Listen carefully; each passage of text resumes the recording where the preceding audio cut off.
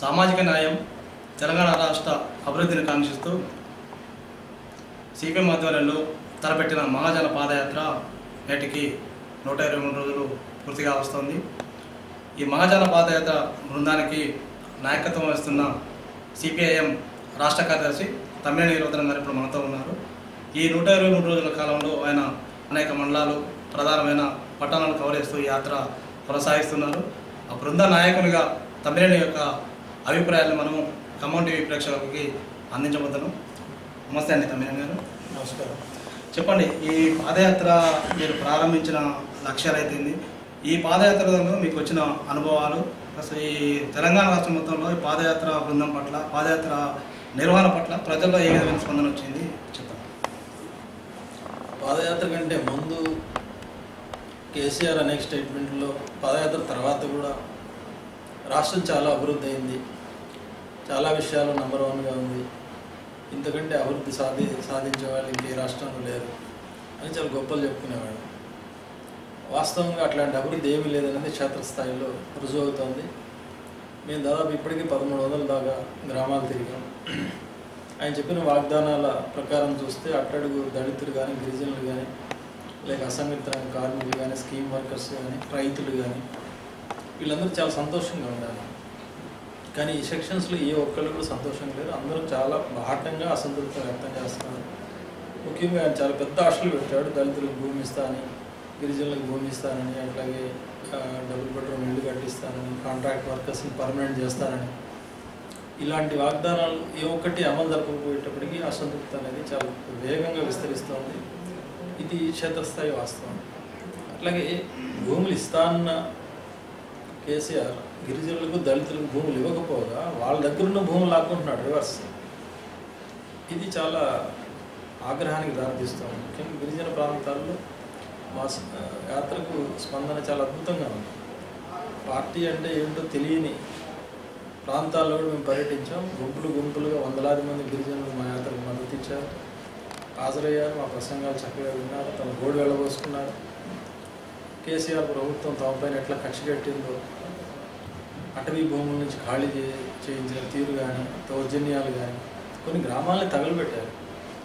అవి పంటలు నాశనం చేశారు ట్రాక్టర్లు ఎత్తుకుపోయారు గిరిజనులు అంత కక్ష ఎందుకు కొట్టారనేది అర్థం చేసుకోవాలి.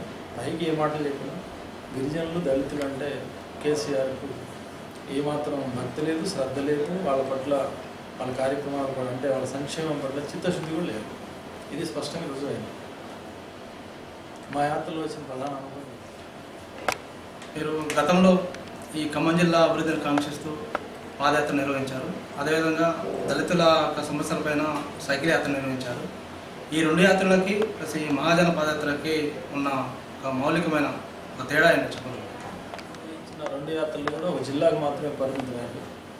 ఇది రాష్ట్ర వ్యాప్తంగా మొత్తం తెలంగాణ రాష్ట్రంలో ముప్పై ఒక్క జిల్లాలో పర్యటిస్తున్నటువంటి యాత్ర.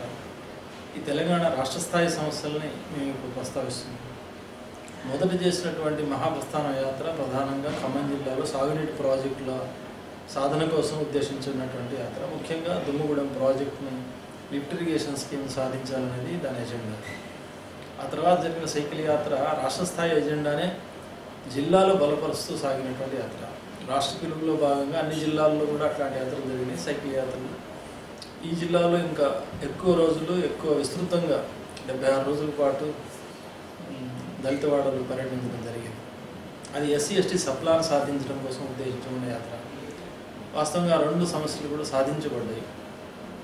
ఇప్పుడు సాగిస్తున్న యాత్ర చాలా సమగ్రమైంది విశాలమైంది. అంటే మొత్తం రాష్ట్రం సమగ్రంగా అభివృద్ధి చెందాలంటే సామాజిక న్యాయం. అంటే తెలంగాణ రాష్ట్రంలో అత్యధికులుగా తొంభై మూడు శాతంగా ఉన్నటువంటి SC ST BC MBC minority కులస్తుల యొక్క సంక్షేమాన్ని వాళ్ళ హక్కుల్ని వాళ్ళ అధికారాలని వాళ్ళకి రావాల్సిన వాటాలని సక్రమంగా అమలు చేయకపోతే సామాజిక న్యాయం అనబడదు. కాబట్టి ఆ రకమైన చర్యలు తీసుకోవాలి అని రాష్ట్ర ప్రభుత్వాన్ని డిమాండ్ చేయడం. ఈ రాష్ట్ర ప్రభుత్వం చేసినా చేయకపోయినా అట్లాంటి ప్రత్యామ్నాయమైన కార్యక్రమాన్ని ఆమోదించి రాజకీయ శక్తులన్నింటినీ ఏకం చేసి ఒక సంఘటన ఏర్పరచడం రాబోయే కాలంలో ఆ సంఘటన రాజకీయ అధికారం కోసం ప్రయత్నం చేయడం అనేది సామాజిక న్యాయ సాధనకు ఉన్న మార్గం. కాబట్టి ఆ- విశాలమైనటువంటి ఎజెండాని ప్రజల్లోకి తీసుకుపోవడానికి ఈ యాత్ర ఉపయోగపడుతుంది. గత యాత్రలకి ఈ యాత్రకు ఉన్న ముఖ్యమైన తేడా ఈ మహాజన పాదయాత్ర నిర్వహించారు. ఈ నిర్వహణలో మీకు అనేక గ్రామాలలో అనేక వర్గాల నుంచి అనేక రకమైన ఫిర్యాదులు వచ్చాయి. ఈ యాత్రని ఇంతవరకే పరిమితం చేస్తారా? లేకుంటే ఈ యాత్రలో వచ్చిన ఒక సమస్యల మీద మేము భవిష్యత్తులో ఏమైనా కార్యాచరణ ఏమైనా తీసుకోబోతున్నారా? రాష్ట్ర కమిటీ కూడా జరగబోతున్నట్టు మాకున్న సమాచారం. ఈ రాష్ట్ర కమిటీ సమావేశంలో ఈ మహాజాన పాదయాత్రను పురస్కరించుకొని ఏమైనా ఉద్యమ కార్యాచరణ ఏమైనా ప్రకటించబోతున్నారా? మహాజన్ పాదయాత్ర సందర్భంగా మాకు వేలాది పిటిషన్స్ వస్తున్నాయి. అరవై డెబ్బై వేల దరఖాస్తులు దాంట్లో వచ్చినాయి. వీటన్నింటిలో వాటిని విభజించి ఏ అధికారులకు లేదా మంత్రులకు ముఖ్యమంత్రికి సంబంధించిన సమస్యలు అయితే వాళ్ళను ఉద్దేశిస్తూ లేఖలు రాయడం వాటిని పరిష్కరించుకొని కోరడం ఈ దరఖాస్తులు ఫార్వర్డ్ చేయడం అనేది జరుగుతుంది. వాటిలో కొన్ని సమస్యలు మాత్రం పరిష్కారం అవుతున్నాయి కానీ చాలా సమస్యలు ఇంకా పెండింగ్లో ఉన్నాయి. కాబట్టి వాటిని పర్సూ చేసే దానికోసం తదుపరి కార్యాచరణ అమలు చేసే దానికోసం కూడా ఇప్పటికే జిల్లా కమిటీలకు డైరెక్షన్ ఇచ్చాం. ఆయా జిల్లాల్లో ఉన్న అధికారులు కలెక్టర్లు ఎంఆర్ఓలు ఆర్టీఓలు మంత్రుల్ని వీళ్ళని మళ్ళీ మళ్ళీ కలవడం అవసరమైన ఆందోళనలు పోరాటాలు చేపట్టడం ప్రభుత్వంపై అధికారులపై ఒత్తిడి తీసుకురావడం ఆ సమస్యల పరిష్కారం కోసం ప్రయత్నం చేయడం ఈ కార్యక్రమాలు ఇప్పటికీ కొన్ని జరుగుతున్నాయి. అయితే రాష్ట్ర స్థాయిలో సామాజిక న్యాయాన్ని సాధించే దానికోసం అవసరమైన కార్యాచరణ ఏంటి? యాత్ర ముగిసిన తర్వాత దాన్ని అమలు జరపడానికి ఏ రకంగా ప్రయత్నం చేయాలి అనేది మీరు అన్నట్లు తప్పకుండా మేము పార్టీలో చర్చిస్తాం. వచ్చే రాష్ట్ర సమావేశం తెల్లారిపల్లి జరుగుతోంది. ఎల్లుండి జరుగుతుంది. ఆ సమావేశంలో ప్రధానంగా ఈ చర్చ ఉంటుంది. అంటే హైదరాబాద్ సభలో ప్రజలను ఉద్దేశించి రాష్ట్ర స్థాయిలో ఏ రకమైన కార్యాచరణ పథకానికి పిలుపు ఇవ్వాలి? ఏ అంశాలపైన కేంద్రీకరించాలి? అనేది చర్చిస్తాం. తప్పకుండా కాలినడక యాత్ర ముగిసిన తర్వాత కూడా చాలా పెద్ద స్థాయిలో రాష్ట్ర రాష్ట్రంలో ఈ సామాజిక ఉద్యమాలను ముందు తీసుకోవాలనేది మా ప్రయత్నం. దీనికి మా ఆలోచన ప్రకారం కలిసి వచ్చే శక్తులన్నింటినీ కలిపే దానికోసం ఒక ప్రయత్నం చేయాలని కమ్యూనిస్ట్ పార్టీలన్నింటినీ ఈ కార్యాచరణలోకి కలుపుకోవాలి ఐక్యం చేయాలని. అట్లాగే సామాజిక శక్తులు కుల సంఘాలు ఇతర మేధావులు ఇప్పుడు వివిధ సంస్థల తరఫున రాష్ట్రంలో ప్రజల తరఫున పోరాడుతున్నటువంటి సంఘాలు సంస్థలు ఉన్నాయి. వాటన్నిటితో కూడా సంప్రదించి ఒక విశాలమైన ఐక్యతను సాధించాలి తెలంగాణలో అనేది ఒక ఆలోచన పార్టీలో జరుగుతుంది. దానికి నిర్దిష్ట రూపం ఇచ్చి హైదరాబాద్ సభలో పిలిపిస్తారు. మహాజన పాదయాత్రకు సంబంధించి ఈ నూట ఇరవై మూడు రోజులుగా తనకు వచ్చిన అనుభవాలన్నింటి కూడా తమ్మినేని రతనం గారు ఖమ్మంపితో పంచుకున్నారు. వారి యొక్క ఆశయ లక్ష్యాల కోసం అయితే ఈ పాదయాత్ర చేపట్టారు.